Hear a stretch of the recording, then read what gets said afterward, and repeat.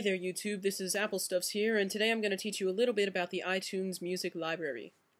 So, to start, we're going to open up the open up our iTunes, and this is what should pop up, or it might be this.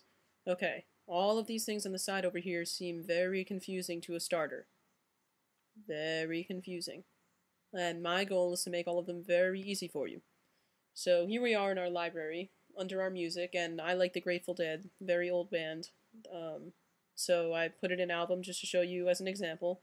So um, before we go into what this actually is as an explanation, let's look at this top bar up here. Up here we have our play button, our fast forward button, our rewind button, only if you are playing something, so we'll play... If I want to pause it, then I hit pause. If I want to go back to the beginning, I do that. If I want to go back a song, see how this changed? That went up one. Then I just hit back again. If I want to go forward, fast forward, I can do that up here. Yeah, so that's that. This is the volume button function. This uh, can turn on really high your volume, or it can turn off your volume, depending on how you drag it. Very simple. And over here are the different functions for viewing. So this is a list view. I like this better because it looks more organized to me because I have my music very organized, even though this is only a small sample of it. And this version does it by album. This is up here are all the different views. And this does it by album, um, album by artist. So if you have a certain album and a certain artist, it combines them and it puts this little artwork here. I don't have any artwork because I own this album and there were no pictures with it because um, I own it from home.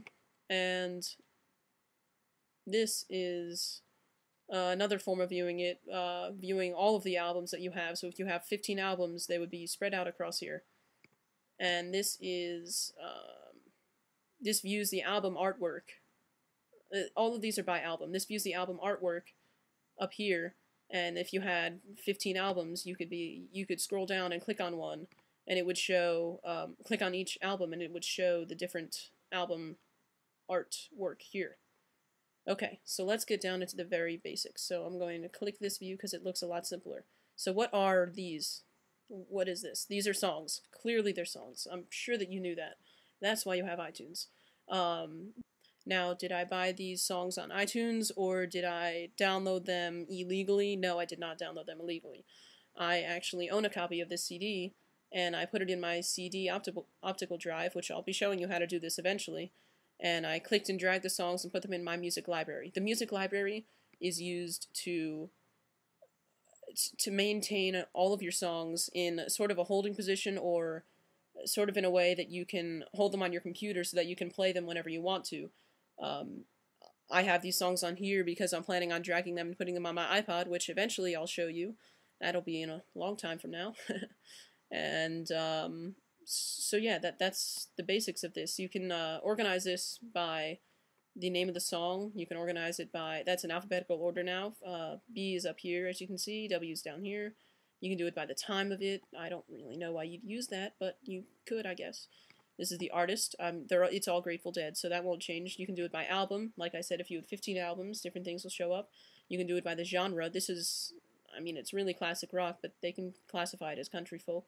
That's okay. Um, and then you can also rate each song. And then on your iPod, you can play each rating if you want to play two star rating or five star rating. And this is the number of plays over here. So if I were to play it this song 10 times on my iPod, there would be 10 plays over here. That, in a nutshell, is everything about the iTunes Music Library. It's a holding place for all of your songs so that you can move them into, or onto, I should say, your iPod. Thank you for watching this YouTube tutorial. This is Apple Stuffs here, signing out. Bye-bye.